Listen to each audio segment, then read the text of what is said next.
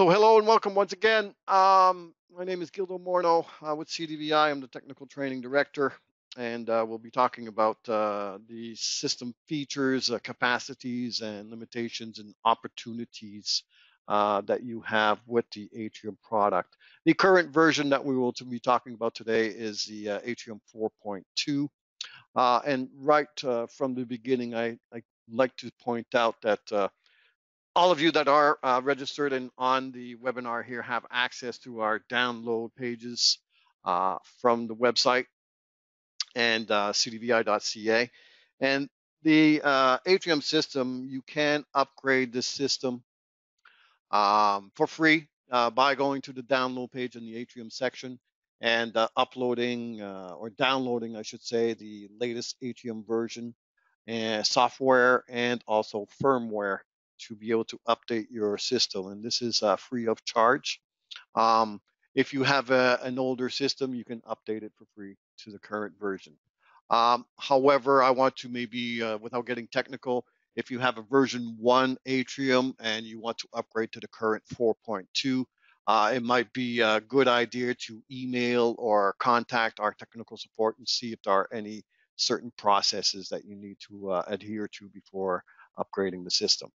So in a nutshell, uh, firmware and software versions work together. So if you are going to update the uh, software, kindly update the firmware version also.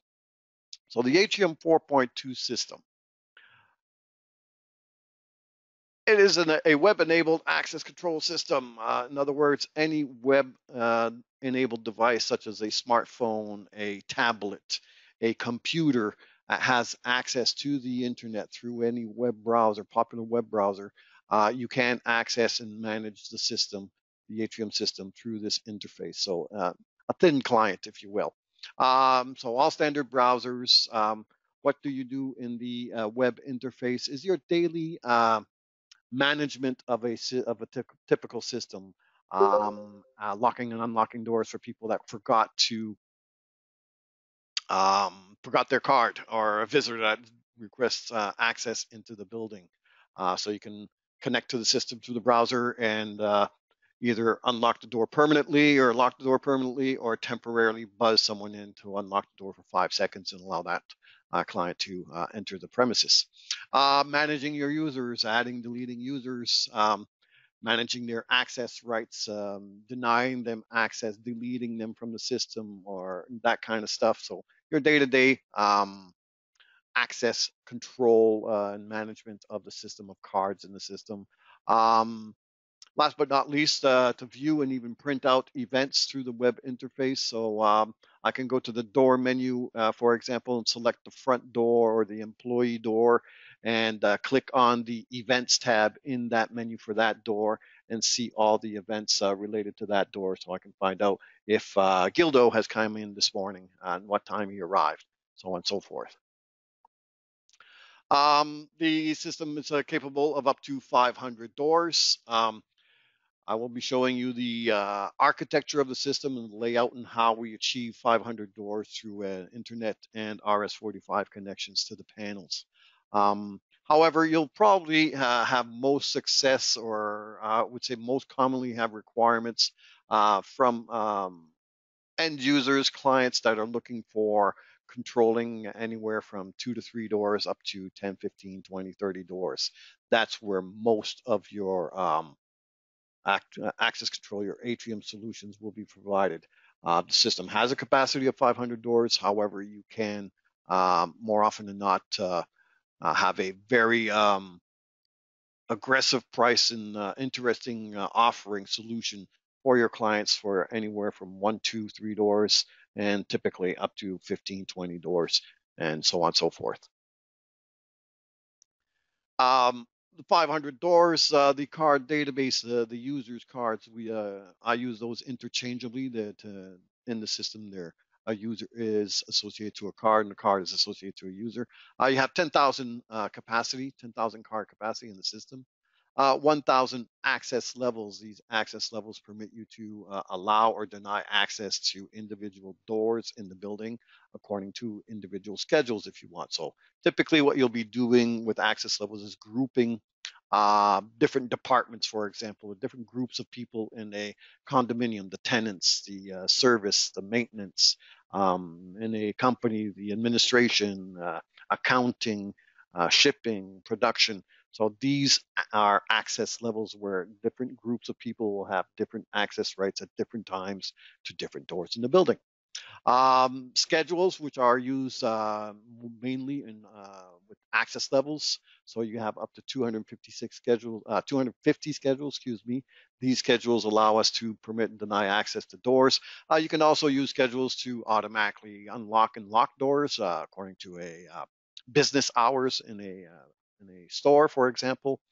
you can also use these schedules to um, um for example, on a different event, uh, different events in the system uh, during the, if the schedule is valid, when this event happens, uh, I will be able to activate a relay. So the other, uh, the other example would be uh, during the day, I don't want a, um, an annunciator or a, a, horn to sound because we know that uh, this particular area will have uh, people going around and I want to monitor a motion sensor in that area. However, that same area at the evening or on weekends, if there is movement in that area, I want to monitor that area and have the system activate a relay. I can also use this. Uh, this is done according to a schedule. Um, I could also have, instead of activating a relay, sending the, um, having the system send an email when the schedule is valid. So schedules are used uh, both for access rights, for unlocking doors, for activating, deactivating relays on certain conditions, events, and sending emails. Um, the last uh, item we see in this table is the event buffer. So when you connect to the controller or um, the events that we see in the menus uh, for the doors, for example, or the uh, users and so on and so forth, uh, these events are um, housed on the control panel, the A22, and displayed if you're in the web interface displayed on screen. In that uh, that screen where the event is displayed, you have a print button allowing you to print um, these events. Um, when we connect with the Atrium software, the free software, those events are not only displayed on screen, um, but they are also housed or stored and saved on the computer's hard drive. So when you are not connected to the system, the uh, events that are happening, a card swipe, doors opening, uh, there are any alarms and so on and so forth, these events are stored on an event buffer on each control panel. That event buffer contains up to 25,000 events.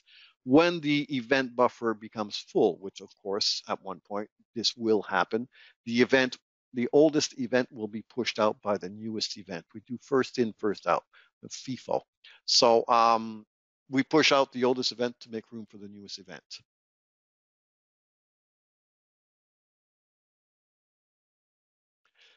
The Atrium system, um, what we have on screen here is a um, system architecture of 100 doors.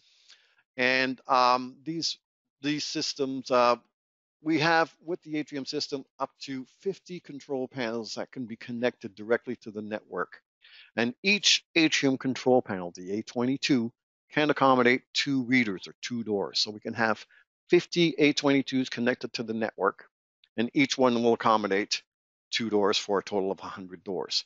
Now, each of these 50 A22 control panels have the capacity to connect four additional A22s set as expanders, so door expanders.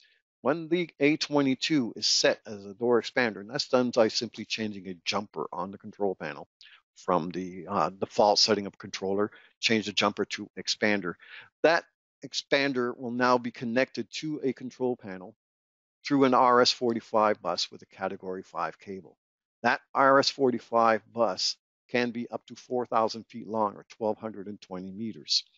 The um, A22 um, control panel that's connected to the network has a capacity of um, connecting four A22s set as expanders for a total of 10 doors per A22. So this is why we're seeing in this architecture, we have a control panel here that's connected to the network through the router or through the, uh, the network switch. And this panel can accommodate up to four A22 set as door expanders. So each door expander or A22 per se can accommodate two doors. So we can have up to 10 doors connected through one IP address. And since we can have 50 IP addresses, we can do 500 doors.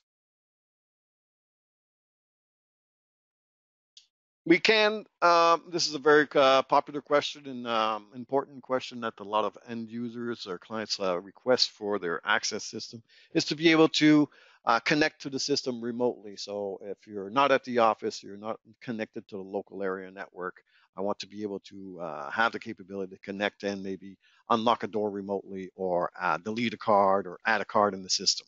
Uh, this can be done with the Atrium system, as we see here, the, the generic um, diagram here. So going through the internet and connecting to the Atrium A22 um, remotely.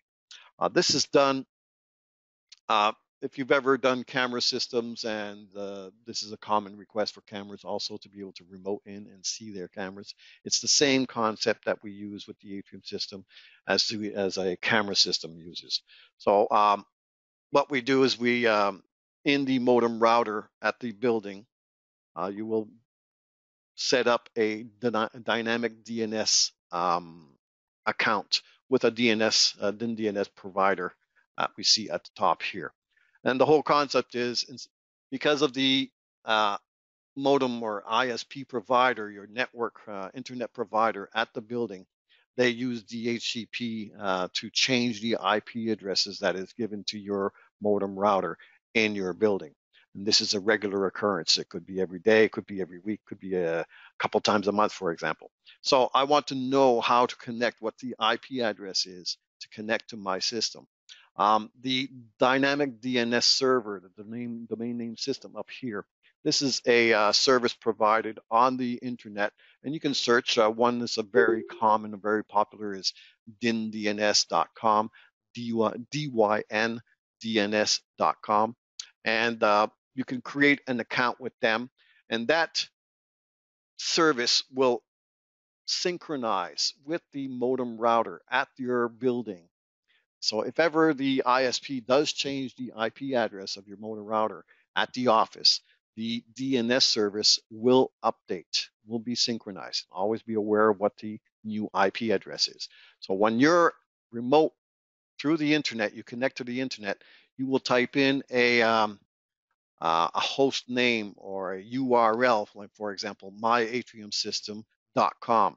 So instead of putting in an IP address like 192.168.1.1 to connect to your network, uh, you will be connecting to myatriumsystem.com, for example.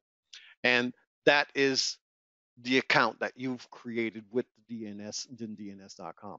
And they will then connect you to your modem router at the office. And in the router itself, you will do port forwarding to the IP address, the local IP address of your control panel. Uh, we do have a step-by-step guide that explains how this is done. Um, this is uh, pretty straightforward once you uh, have done it uh, going through the guide and you will be able to uh, offer this, um, this service to your clients with the Atrium system.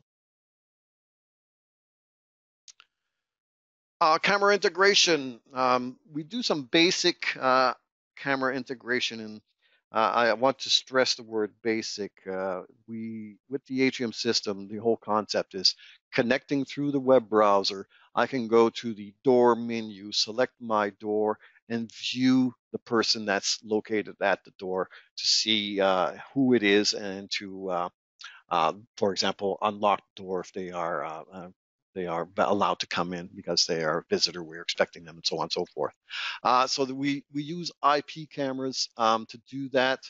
Um, you can have your your video management system, your VMS, and have that do all the recording. And if you want to pan, tilt, and zoom, if you have that type of camera in the in the building, uh, use that to do this. Uh, however, with the Atrium system, what we are doing is simply to view the live streaming video to ascertain who's at the door, before we buzz them in. That's the basic idea. Uh, with the Atrium system through the Atrium interface, I do not have the capability to uh, take a snapshot. Uh, Atrium does not have the capability to record video, uh, for example. Uh, these are things that you know you will need to uh, implement with your video management system, your NVR. however, we can, up to a certain level, integrate within the uh, system with the VMS or the NVR, provided that the camera or that uh, VMS has an input. So we can trigger, for example, an alarm condition in the Atrium system, trigger an output, a relay, and connect that to the camera system and have the camera system, when it senses that the relay has been triggered, do some recording. So there is a capability to integrate up to a certain level with um, existing camera systems. However, within the Atrium menus and configuration options, the uh, it is limited to viewing live streaming video. Uh, with that said, uh, we will be moving forward with that. This is our first um, at CDVI, our first uh, step into integration with cameras. It's very basic as we see. Uh, however, uh, we've already processed up to a certain limitation um, with Vivotek, the capability of doing some uh, video recording. Um, if you do need to um, implement that option within Atrium, uh, Vivotek cameras, IP cameras, uh, you will be able to do that provided they have a an onboard SD card within the camera. The uh, the concept is not to replace the video or the NVR with Atrium. It's simply to, in addition to the video or VMS system, we also have the capability through Atrium to uh, connect to and uh, send record commands to a Vivotek IP camera.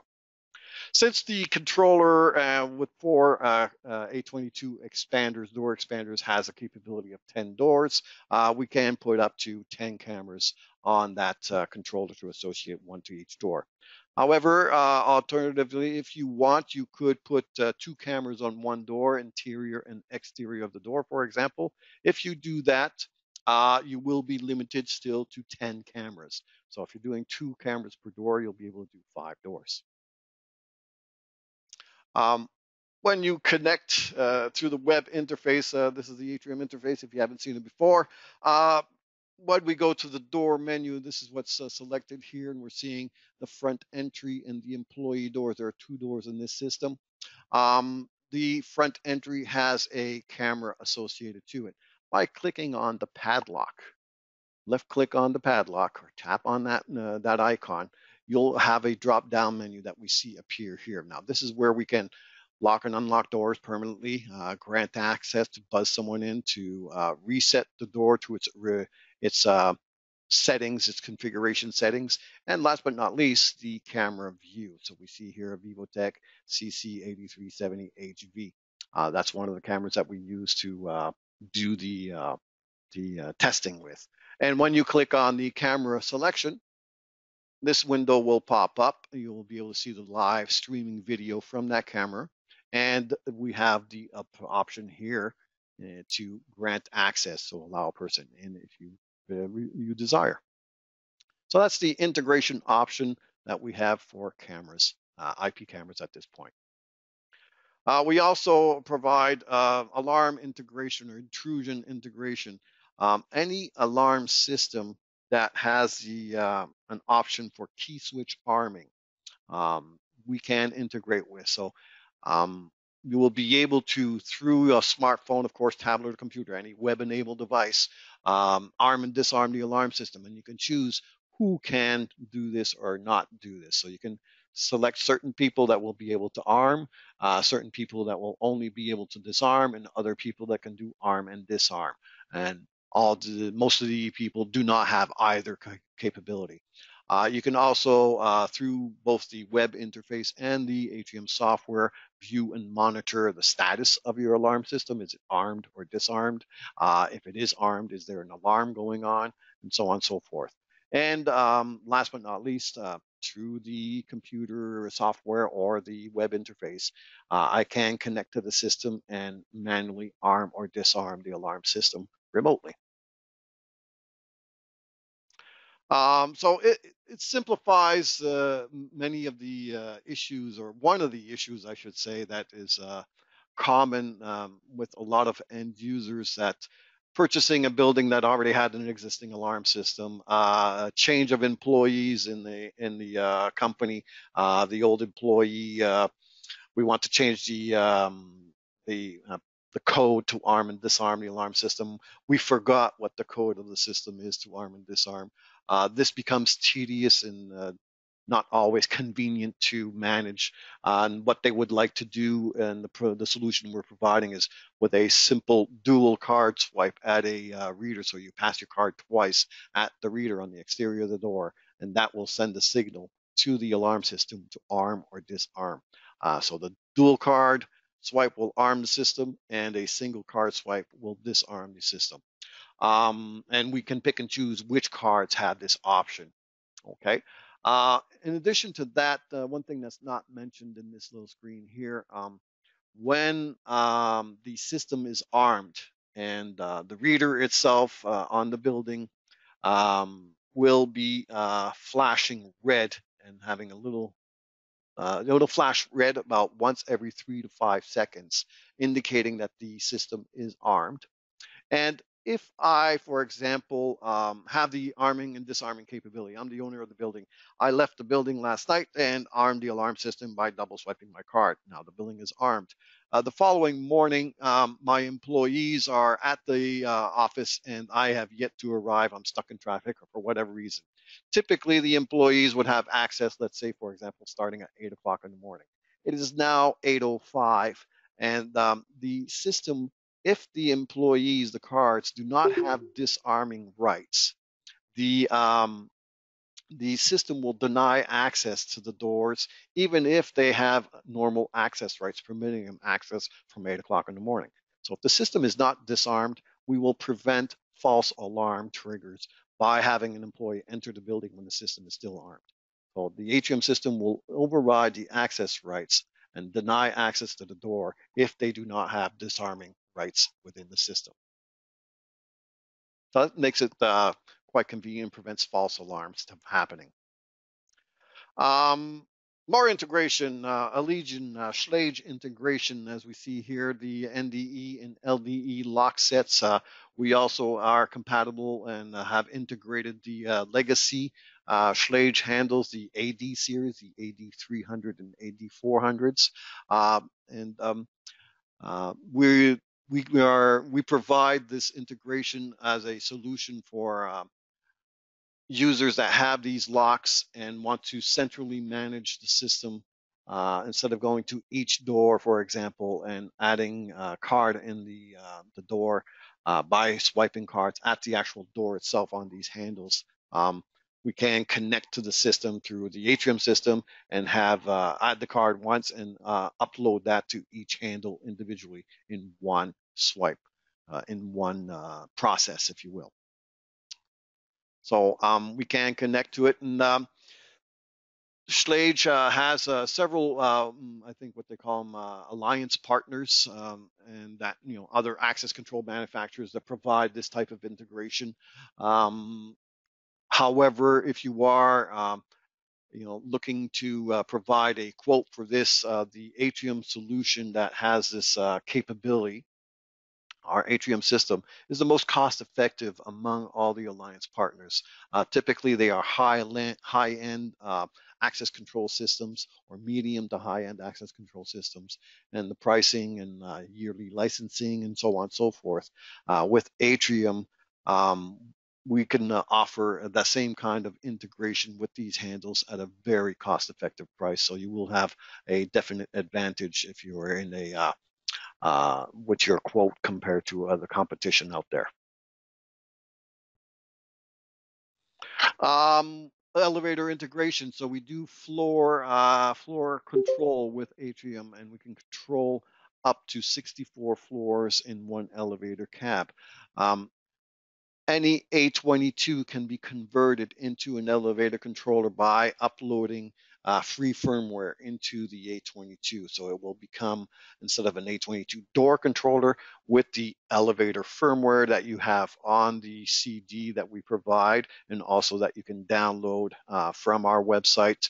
We have free A22 EC for elevator control firmware that you can upload into the uh, A22 to convert it to a elevator controller.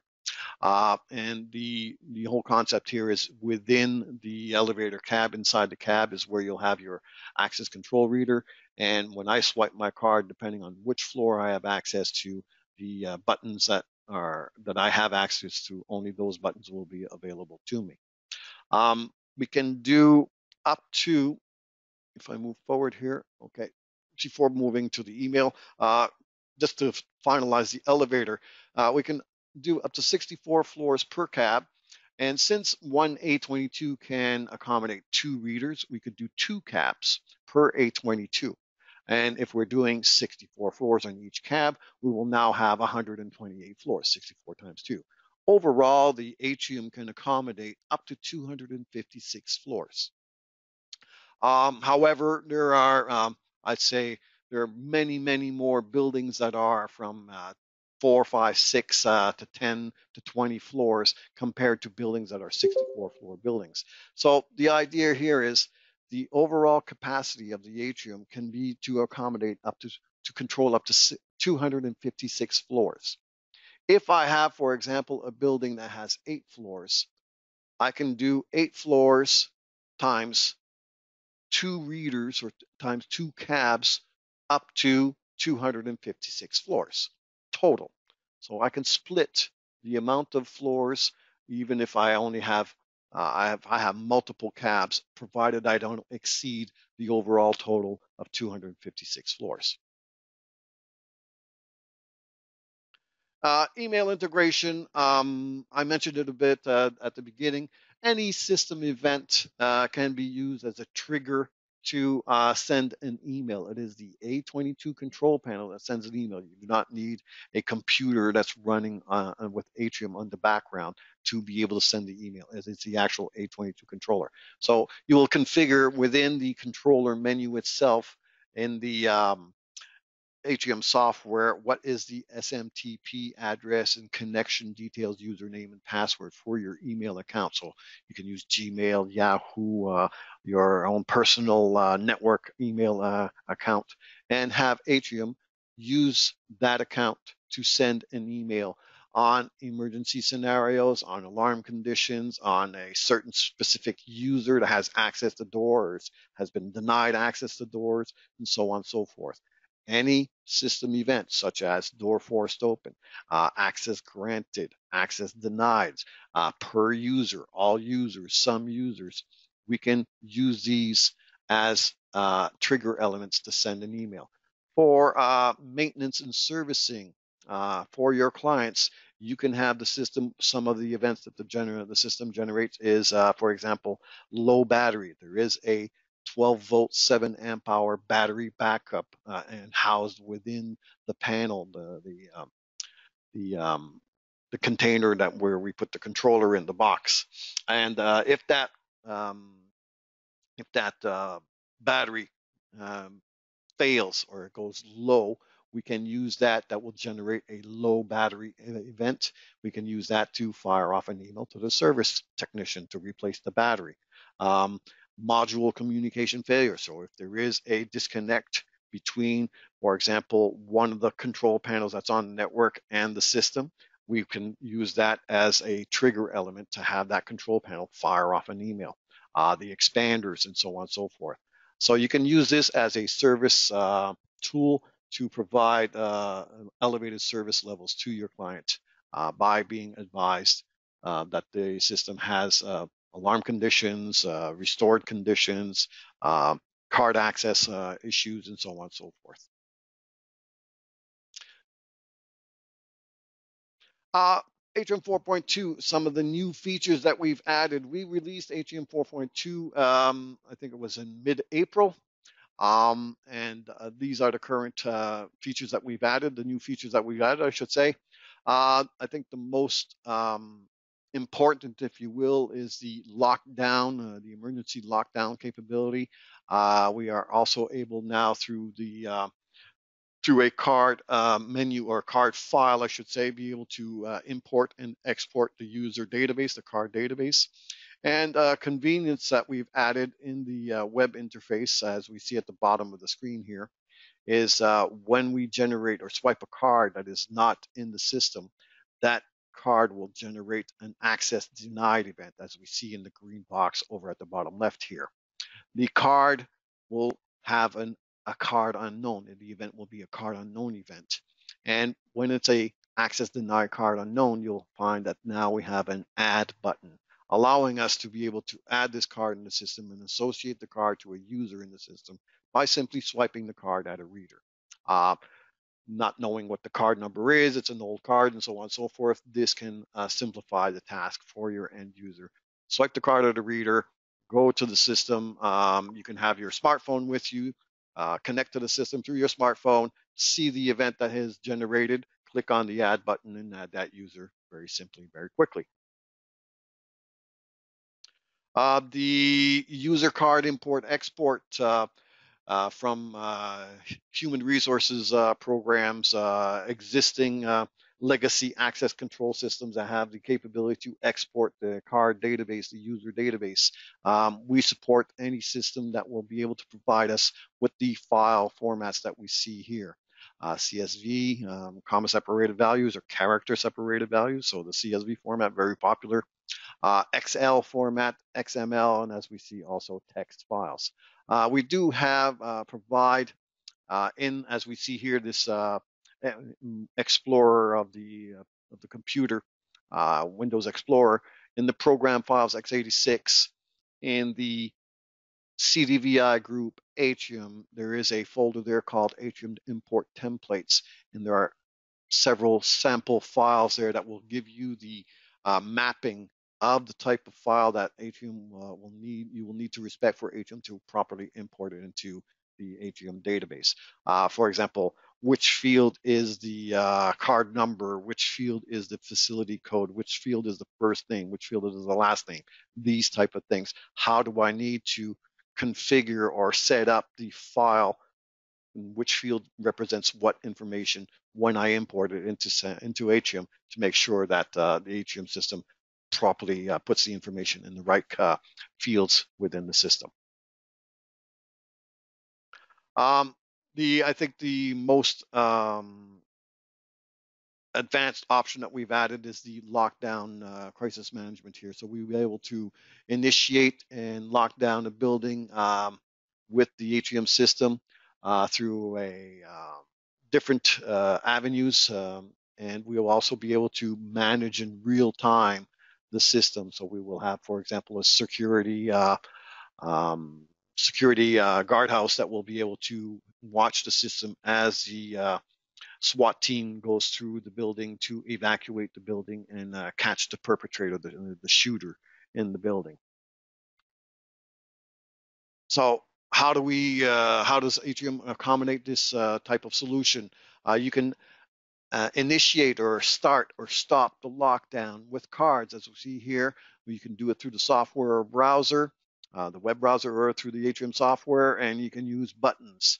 Uh, emergency buttons located, for example, if we take a, a school, which is uh, uh, schools and churches are very keen on these type of solutions right now, unfortunately, but um, it is uh, that that is the case at this point. So cards, we can pick and choose which cards have this capability to both start and stop or do both. Um, you can also uh, request if you are using cards, is it a single swipe at a particular reader? Is it a single swipe at any reader? Is it a double swipe at any reader or a single reader? Um, do you need to have two people to be able to? You will need two cards. So single or double swipe or with chaperone options. And you can pick and choose which cards um, have this, uh, this uh, capability. So if you do uh, pick certain cards and will they need to double swipe their cards uh, to be able to initiate lockdown or stop the lockdown? Will they need to, when they stop uh, the lockdown, have a, a second card or a second person with them and so on and so forth. through the uh, Atrium software or the web browser. Um, you will be able to, uh, as we see here, activate and deactivate or start and stop the lockdown uh, scenario. Um, we can also uh, implement that when you're in the web browser and you start the lockdown, you will need, or stop the lockdown for that matter, you will need to also provide your login password. So if you uh, want to start or stop the lockdown, you must have the password that you use to log into the system to initiate those two options. Or you can say no if you've logged in. Um, you do not need your password. You just start or stop the lockdown by simply tapping. And you can choose which ones, you know, you can say you do not need a password to start the lockdown, but you do need a password to stop the lockdown. Uh, through emergency buttons um, at the principal's office, at the reception area, in uh, the hallways, in each classroom. So we can accommodate uh, emergency buttons, and I think that will be the most uh, common option for many places is we have uh, buttons located throughout the building, and if you press this button, we will start the uh, lockdown condition or stop the lockdown condition. Um, if we're using cards, uh, we've provided a new part number, if you will. it's the uh, as we see here on screen, uh, the LD kit, and they are uh, cards uh, that are pre-printed with these graphics on them, and they are used uh, to be able to uh, manage and detect the lockdown, start and stop the lockdown.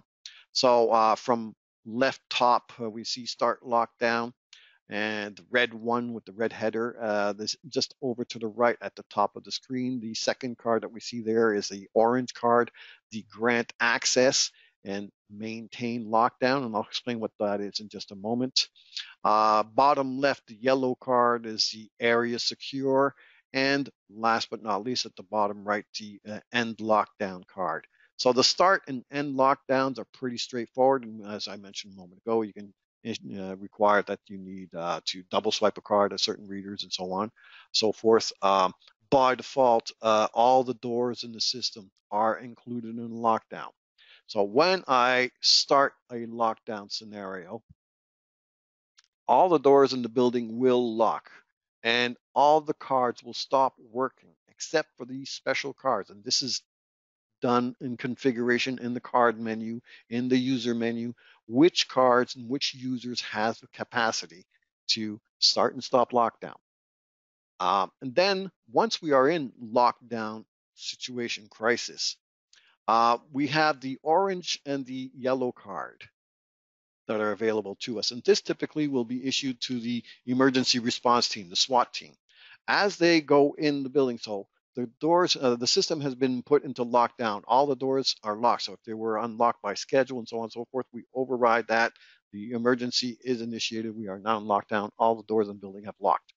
Uh, all the cards, except these special cards or special cards that we've indicated, will now be refused access. If you don't have a grant access option in your card menu, you will not be able to access the door anymore or any door in the building. So typically, the only people that will be able to access the door. So are the people from the emergency response. Um, these cards here uh, can be purchased and to simplify uh, which cards do what and so on and so forth. But with that said, any card can be a lockdown card. It does not have to be one of these. Uh, a uh, regular card can be, it's an option that we uh, um, an attribute that we enable within the card menu for that particular user, that particular card. So these cards are just more convenient, more user-friendly, if you will. However, any card can be used to initiate, stop, or manage lockdown. So we have start and end lockdown. Then we have grant access and maintain lockdown. So the scenario with this card here, this option, is that we are now in lockdown. All the doors are locked. Uh, the classrooms and the kids are in the classrooms, and the emergency response team will be evacuating these classrooms as they go through the building. Uh, so we need the emergency uh, response team to permit them access to the classroom and uh, one at a time, for example. So anybody that has this grant access and the option is enabled will be able to override the lockdown at that at each door in the building. When they have that, they swipe their card, the door will unlock, allowing them to enter the classroom and evacuate the children from the classroom And then we would use the yellow card to secure that classroom, area secure, and maintain the lockdown. During the lockdown, the readers will be flashing. So when I initiate the lockdown, by default, the CDVI readers in normal day-to-day -day activity, they are blue. So you look at the reader on the wall, the reader has a blue LED, you see that reader. Uh, when we initiate lockdown, uh, the readers will start blinking very quickly in lockdown mode, blue and red. So the reader will change status. You will be able to view uh, by just simply looking at the door if there is a lockdown initiated. Of course, we can have sirens activate and we can do emails and so on and so forth, but at the reader level, they do start blinking very quickly, red and blue. Uh, when I swipe my card and this grant access card, I access that door, I evacuate the room, and then I swipe the yellow card, the area secure. This will indicate within the system that this room has now been secured and the reader will now start blinking blue and green. So instead of blue and red. So as I'm walking down the hallway to, to these classrooms, I can, in, the, I can see visually which rooms have been cleared or secured and which are still need to be evacuated.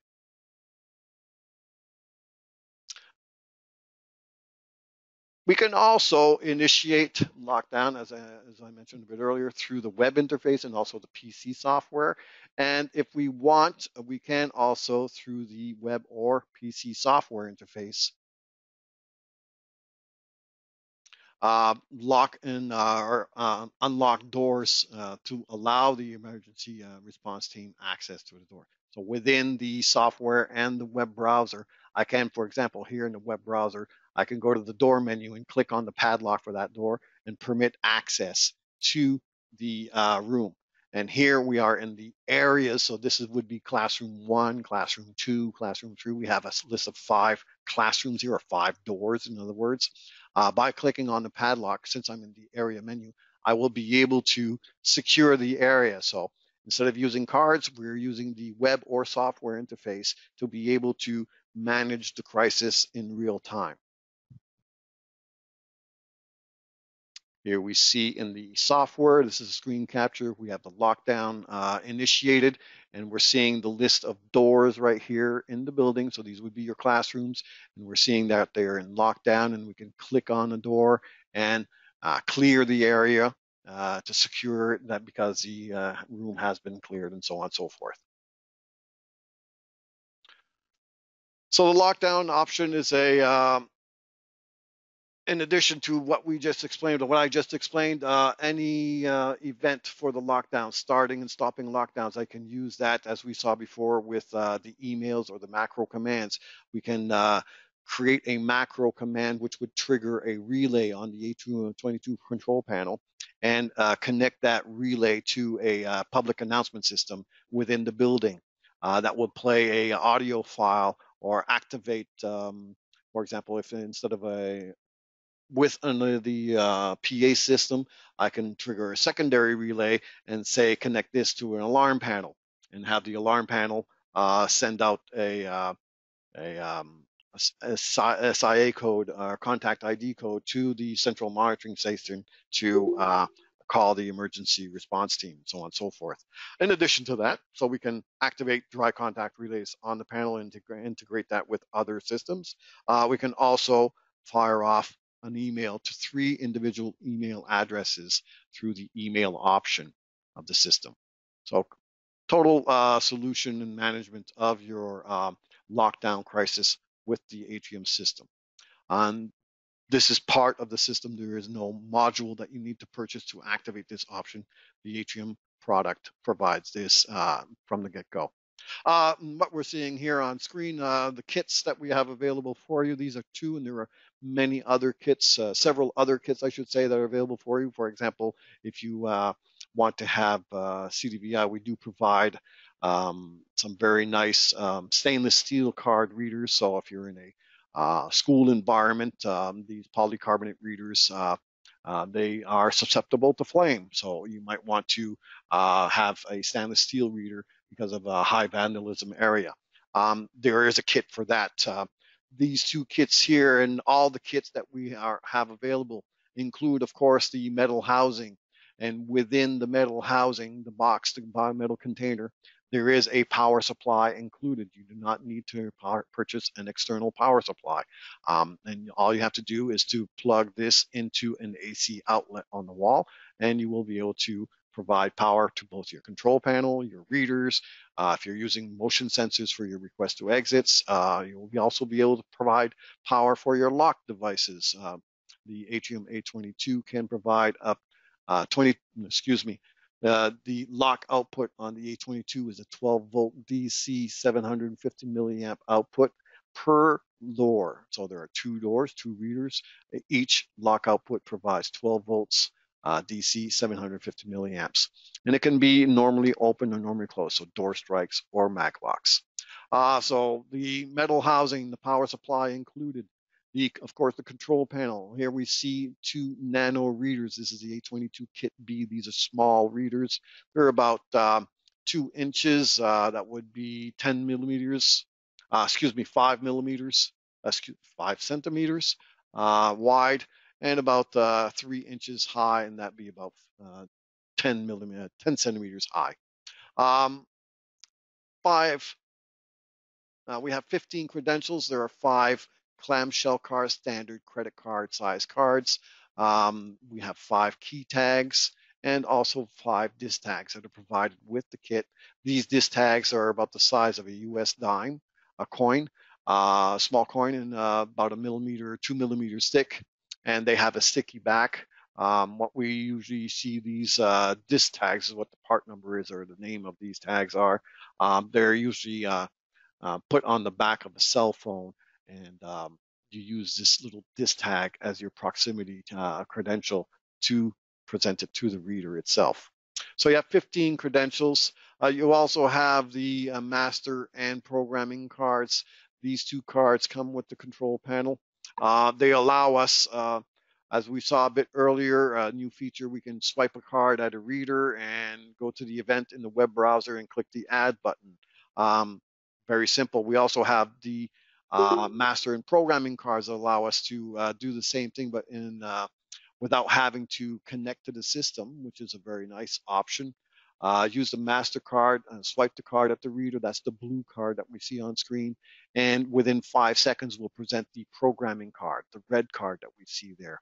When we do this, this initiates the card enrollment mode uh, for Atrium. So the reader at that point, so I present the blue card, the master, and present the red card. Within five seconds, the reader that I've just done this will start blinking twice red and twice green. I've now activated enrollment mode. By doing that, I can now present a card that is not in the system, and we will enroll that card automatically into the user database. And we can add multiple cards that way. And when we're done, we'll present the red card back to the reader to stop the enroll enrollment mode. The reader will go back to its normal blue in uh, blue status. The cards that we've just added are now active in the system. You could gain access to all the doors 24/7. So very convenient, very simple. So these cards come with the product. And of course, last but not least, you have the uh, software. Uh, what we see on screen here is a DVD or CD-ROM. Uh, we are now um, shipping uh, USB keys, so uh, many laptops uh, and many computers, for that matter, even desktop computers, no longer have uh, CD or DVD drives. So uh, we are now shipping the software through our channels with a USB key. and last but not least, at the bottom, we see we also have a PoE Plus solution. So um, we use the uh, PoE uh, Plus network uh, to provide power both to the um, control panel and uh, the um, readers and door strikes. Uh, please keep in mind if you are going to use the PoE Plus, the PoE Plus um, standard does not provide enough wattage or enough power to drive the lock outputs with mag locks connected to it. So you can use the PoE Plus with door strikes. However, if you're going to be using mag locks, uh, you will need an external power supply for your mag lock because the PoE Plus does not provide enough power for that uh, that that requirement of a typical mag lock. Um, the markets where uh, we have uh, success, these are typical markets that you can approach and where you will be approached by. So condominium complexes, uh, schools and school boards, uh, daycare centers, um, fitness, um, gyms, uh, convenience stores, uh, churches, um, and of course, small to medium businesses. Uh, these are the key places where uh, you can provide them with an access control solution at a price point that uh, will uh, allow you to generate a fair amount of business and profit margin, of course.